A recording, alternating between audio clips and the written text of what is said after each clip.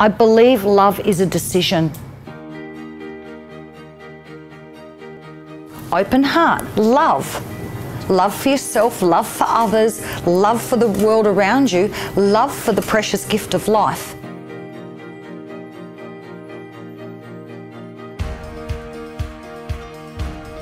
Allow yourself to sparkle, give yourself permission to sparkle. We've been in battle with our bodies for years. The casualties of that battle is actually ourselves. We women don't break, we bend. I've crashed and it's okay because I've been falling for so long, I feel relieved. We are not our behaviour. We're not. yeah, we don't give a about what other people think now.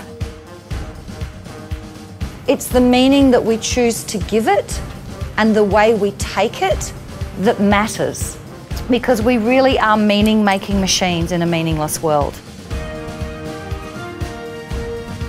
Three of the most powerful words in the English language are home, love, and somebody's name.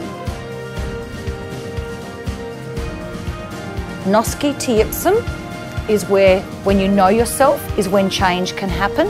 I believe it is the true essence of joy. When we're curious, it then can create awareness. When we have awareness, we grow.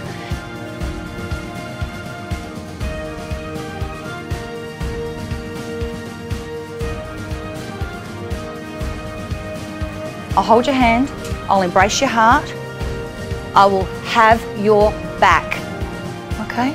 And I'll walk beside you.